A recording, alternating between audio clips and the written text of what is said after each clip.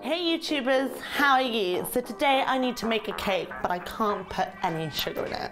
What am I gonna do? Well, this pear almond and honey cake is the perfect solution. You need to get three eggs and three pears.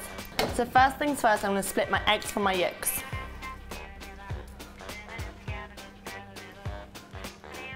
So I'm gonna beat these egg whites till they form nice stiff peaks. So to my yolks, I'm gonna add technically my wet ingredients, which are about 100 grams of honey or maple syrup and about 50 milliliters of olive oil. So I've now got three juicy pears. I'm simply gonna grate these with the skins on, right down to the core and add that to the wet mixture too. We're gonna add half a teaspoon of almond extract, about that much. So to this, we're adding 225 grams of ground almonds, a teaspoon of baking powder, teaspoon of cinnamon, and then half a teaspoon of bicarbonate of soda too. Let's give that a good old stir. So your mixture's probably gonna get a little bit dry at this point, but we've still got the egg whites to add back in, which will help loosen it up very last step in terms of ingredients and mixing is to fold in the egg whites. That's quite important when you fold egg whites in to use a metal spoon. And the reason this for this is it doesn't beat out the air.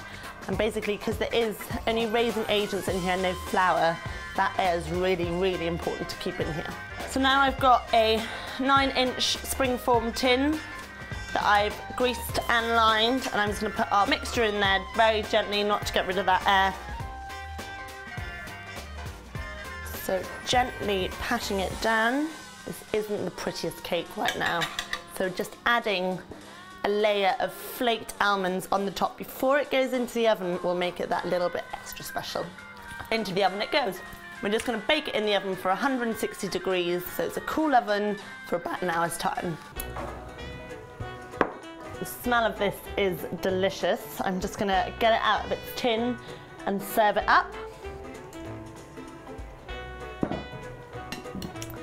So there we have it. I needed a cake with no sugar and I've got a pear, almond and honey cake that smells absolutely delicious. If you have a dish dilemma that we can help you with, then make sure you subscribe and comment in the box below. See you soon.